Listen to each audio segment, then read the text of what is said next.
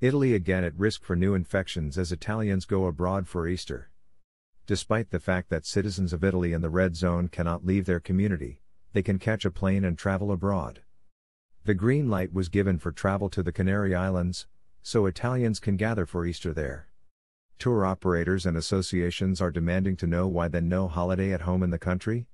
A circular from the Interior Ministry confirmed by responding positively to a question posed by Astoi Confindustria Viaggi, an association that represents over 90% of the tour operating market in Italy, in regard to the possibility of allowing in areas currently subject to restrictions, the movement of travelers who intend to go to a foreign country that is open and usable for tourism.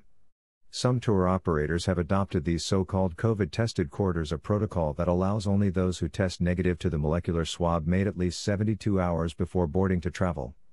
Some operators even provide for an economic contribution to carry out the swab or include the cost in the package's price in addition to the cost of a doctor who contacts the tourist before returning. To sum it up, there are safe tourist corridors that guarantee on the one hand the safety of travelers and on the other hand, the restart of an important sector of the economy. Turmoil and confusion. The green light for travel to the Canary Islands sparked protests from Italian hoteliers, represented by Federalberghi and Confindustria Alberghi, stating that the government has adopted unfair measures for Easter holidays, namely penalizing the categories of Italian hospitality. The protest of tour operators and trade associations, as well as citizens, are amazed at the freedom to travel abroad while hotels and the entire Italian hospitality system have been stopped for months due to the ban on moving from one region to another. The logic of making it possible to authorize trips across the border while at the same time preventing movement in Italy is not registering. People vaccinated or with negative swabs are at low risk of contagion, so this logic must also be applied to trips to Italy, to take advantage of all tourist services including spas, skiing, meetings, congresses, and trade fairs, thundered the president of National Federalberghi, Bernabo Bocca. The president is adamantly feeding the controversy for a sector that is already victim of illogical divisions. Maria Carmela Colaiacovo, vice president of Confindustria, is also protesting and considers the regulation a paradox. She said, the Italian structures are ready to welcome guests in complete safety, according to which there is a prejudice against the sector, given that the second homes of the Italians can be reached, but the hotels where monitoring is continuous cannot. The same goes for travel abroad. We are sure that staying in a hotel in Italy can offer similar, if not superior, guarantees. But it appears the die is cast, and the government justifies itself by stating that upon return, a five day quarantine and buffer are required.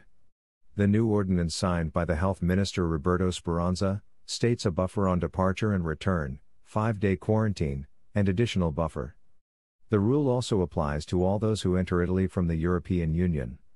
Similar provisions are in force in other countries, such as Germany and Spain, and have sparked similar controversies. For example, German hoteliers have described the situation as absurd in which thousands of compatriots are able to fly to the Balearics for the Easter holidays, while at home the hotels are closed except for those who travel for work.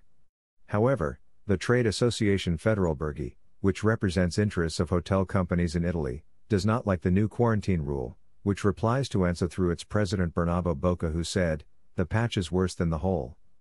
We absolutely did not want to wage war on Italians who travel abroad nor on Italian tour operators and travel agencies of which we have the utmost consideration.